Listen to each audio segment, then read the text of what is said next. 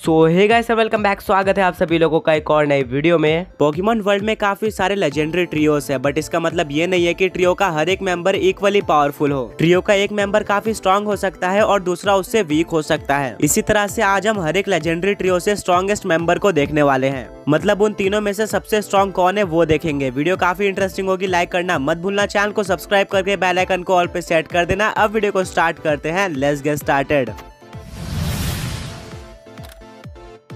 सबसे पहले स्टार्ट करते हैं कैंटो रीजन से। कैंटो रीजन में लेजेंडरी बर्ड्स आते हैं, जो कि है आर्टिकुनो मोल्ट्रेस और जैपडोस तीनों ही काफ़ी स्ट्रॉन्ग और आइकॉनिक है बट तीनों में से सबसे स्ट्रॉन्ग होगा जैपडोस अब आर्टिकुनो की टाइपिंग आइस और फ्लाइंग टाइप है मोल्ट्रेस की टाइपिंग फायर और फ्लाइंग टाइप है। जैपडोस की टाइपिंग इलेक्ट्रिक और फ्लाइंग टाइप है। सबको ये तो पता ही होगा कि इलेक्ट्रिक टाइप फ्लाइंग टाइप पे सुपर इफ़ेक्टिव होती है। और बाकी दोनों मेंबर्स यानी कि आर्टिकुनो और मोल्ट्रेस की सेकेंडरी टाइपिंग फ्लाइंग टाइप है, जिससे वो जैपडोस से वीक हो जाएँगे। इसके अलावा जैपडोस के पास रॉक टाइप अटैक भी है जो कि मोल्ट्रेस पर सुपर इफ़ेक्टिव है। तो हाँ इसमें कोई भी डाउट नहीं है कि यहाँ पर जैपडो सबसे स्ट्रॉन्ग लेजेंडरी बर्ड है।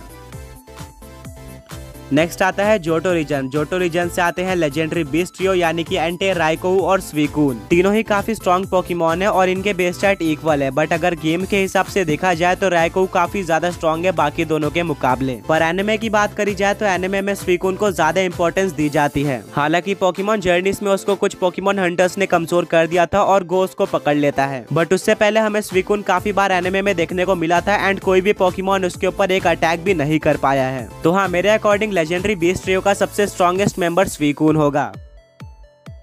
नेक्स्ट आता है होइन रीजन से रेजी ट्रियो यानी कि आइस टाइप का रेजी आइस रॉक टाइप का रेजी रॉक और स्टील टाइप का रेजी स्टील वेल इन तीनों में सबसे वीक रेजी रॉक है, क्योंकि ये प्योर रॉक टाइप पॉकीमोन है, इसकी चार वीकनेसेस है। जबकि ये एक डिफेंसिव पोकीमोन है, ना कि अटैकिंग पॉकीमोन ये चीज़ इसको अपने आप यूजलेस बना देती है। अब रेजी आइस और रेजी स्टील में मेरे अकॉर्डिंग ज़्यादा स्ट्रॉन्ग रेजी स्टील है। इसी तरह से रेजी आइस के भी चार वीकनेसेस है बट उसके अटैक स्टैट थोड़े अच्छे है। और बात करें रेजी स्टील की तो इसके सिर्फ़ और सिर्फ़ तीन ही वीकनेस है। ये अटैक और डिफेंस दोनों में बैलेंस्ड है। और हाँ एनिमे में भी इसको काफ़ी स्ट्रॉन्ग दिखाया गया था तो मेरे अकॉर्डिंग इन तीनों में सबसे स्ट्रॉन्ग रेजिस्टील है। नेक्स्ट है वेदर ट्रियो फाइनली एक काफ़ी स्ट्रॉन्ग ट्रियो आता है। इस ट्रियो के तीनों members one of the strongest Pokemon है पोकीमोन वर्ल्ड के। कायोगर एक वाटर टाइप पोकीमोन है ग्राउडाउन एक ग्राउंड टाइप पोकीमोन है, वहीं पर रेक्वाजा एक ड्रैगन और फ्लाइंग टाइप पोकीमोन है। प्लस ग्राउडाउन और कायोगर के पास प्राइमल फॉर्म्स है, जिसमें जाने के बाद इन दोनों के बेस्ट एट हंड्रेड पॉइंट से बढ़ते हैं। और ग्राउडाउन की टाइपिंग चेंज होकर फायर और ग्राउंड टाइप बन जाती है। वहीं पर रेक्वाजा के पास मेगा एवोल्यूशन है। वेल अब इन तीनों में सबसे स्ट्रॉन्ग पोकीमोन को डिसाइड करना बहुत ज़्यादा इजी है। जो कि होगा रेक्वाजा रेक्वाजा के पास बेस फॉर्म में डुअल टाइपिंग है, जबकि बाकी दोनों के पास सिंगल टाइपिंग है। ग्राउडन और कायोगर को अपने प्राइमल फॉर्म में जाने के लिए एक स्पेशल ऑर्ब की ज़रूरत होती है। वहीं पर रेक्वाजा सिर्फ़ ड्रैगन असेंड मूव का यूज़ करके अपने मेगा एवोल्यूशन में जा सकता है। रेक्वाजा के बेस स्टेट इन दोनों से टेन पॉइंट ज़्यादा है। रेक्वाजा इस ट्रियो का मास्टर है। और बस इतना ही नहीं रेक्वाजा इन दोनों के बीच में होने वाली फाइट को भी रोकता है और दोनों को हैंडल करता है, जिससे डेफिनेटली ये क्लियर हो जाता है कि रेकवाजा इन दोनों से कहीं ज़्यादा स्ट्रॉन्ग है। नेक्स्ट आता है सीनो रीजन से क्रिएशन ट्रियो ये एक और काफ़ी ज़्यादा पावरफुल ट्रियो है। इस ट्रियो में आते हैं डियालगा, जो कि स्टील और ड्रैगन टाइप पोकीमोन है, पालकिया, जो कि वाटर और ड्रैगन टाइप पोकीमोन है, और फाइनली गिराटिना, जो कि घोस्ट और ड्रैगन टाइप पोकीमोन है। इन तीनों में सबसे बेकार टाइपिंग पालकिया की है। तीनों पोकीमोन के पास ओरिजिन फॉर्म है, जिसमें जाने के बाद ये काफ़ी ज़्यादा स्ट्रॉन्ग हो जाते हैं। और एनिमे में भी आपने देखा होगा कि पालकिया डियालगा के सामने वीक लग रहा था। तो यहाँ पर मेन बैटल डियालगा और गिराटिना के बीच में होगी। मेरे अकॉर्डिंग इन दोनों में गिराटिना ज़्यादा स्ट्रॉन्ग है। काफ़ी जगह पे ये भी बताया गया है की गिराटिना अपने फुल पावर पे इवन आर्चर्स के पावर को भी मैच कर सकता है। तो इसके सामने डियालगा का क्या होगा? तो हाँ डेफिनेटली यहाँ का स्ट्रॉन्गेस्ट पोकीमोन गिराटिना है। नेक्स्ट है लेग गार्डियन ट्रियो यानी कि एजेल फ्यूक्सी और मेस्प्रिट तीनों की टाइपिंग साइकिक टाइप है और तीनों के बेस्ट एड भी बिल्कुल सेम है। तो यहाँ पे डिसाइड करना काफ़ी डिफ़िकल्ट होगा कि कौन सबसे स्ट्रॉन्ग है, पर देखा जाए तो मेरे अकॉर्डिंग एजेल सबसे स्ट्रॉन्ग पोकीमोन होगी।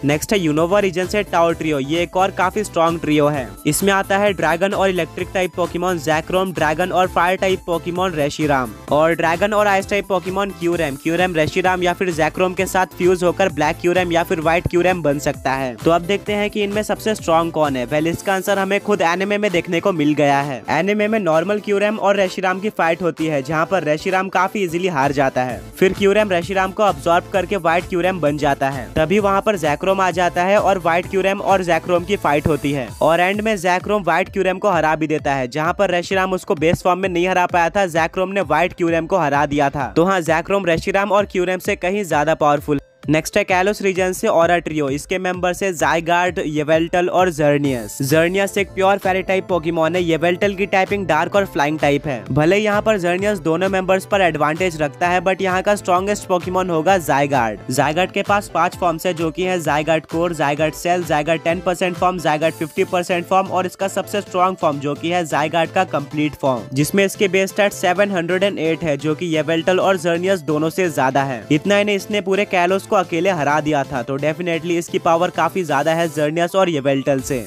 और ये इस ट्रियो का मास्टर भी है।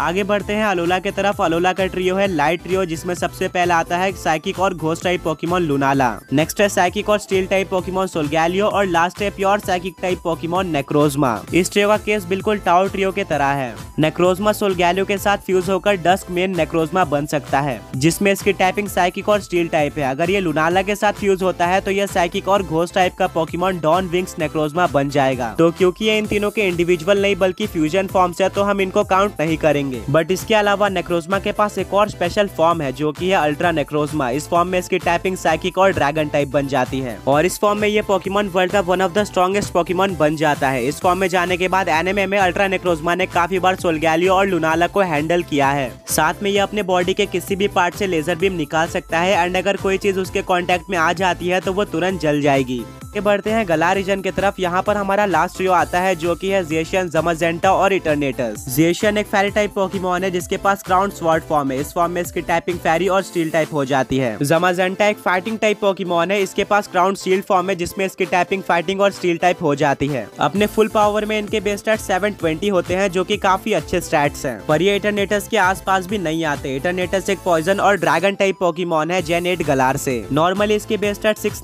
होते हैं, पर इसके पास इटरना मैक्स फॉर्म है, जिसमें जाने के बाद इसके बेस्ट एट 1125 हो जाते हैं। ये सबसे पहला और एक लौता पोकीमोन है, जिसके बेस्ट एट 1000 से ज़्यादा है। और इतने बेस्ट एट पोकीमोन वर्ल्ड में किसी के भी नहीं है तो डेफिनेटली गेम के अकॉर्डिंग तो ये सबसे स्ट्रॉन्ग होगा ही। पर एनिमे के अंदर भी इटरनेमैक्स इटरनेटस हमें दिखाया गया था। और इसको हराने के लिए लुकारियो जेशन और जमाजेंटा अपने क्राउन स्वॉर्ड और क्राउन सील्ड फॉर्म में आते हैं। और ये सब मिलकर इटरनामैक्स इटरनेटस को हराते हैं। तो आप इटरनामैक्स इटरनेटस की पावर का अंदाज़ा लगा सकते हो कि इन सारे पोकीमोन को इसको मिलकर हराना पड़ा। तो डेफिनेटली ये सबसे स्ट्रॉन्ग पोकीमोन होगा इस ट्रियो का। वेल तो गाइस यही था आज के इस वीडियो में। अगर आपको वीडियो पसंद आई है तो लाइक करना मत भूलना। साथ में चैनल को सब्सक्राइब करके बेल नोटिफिकेशन को ऑल पे सेट कर देना। एंड दोबारा मिलेंगे एक और ऐसे औसम वीडियो के साथ। Until then peace out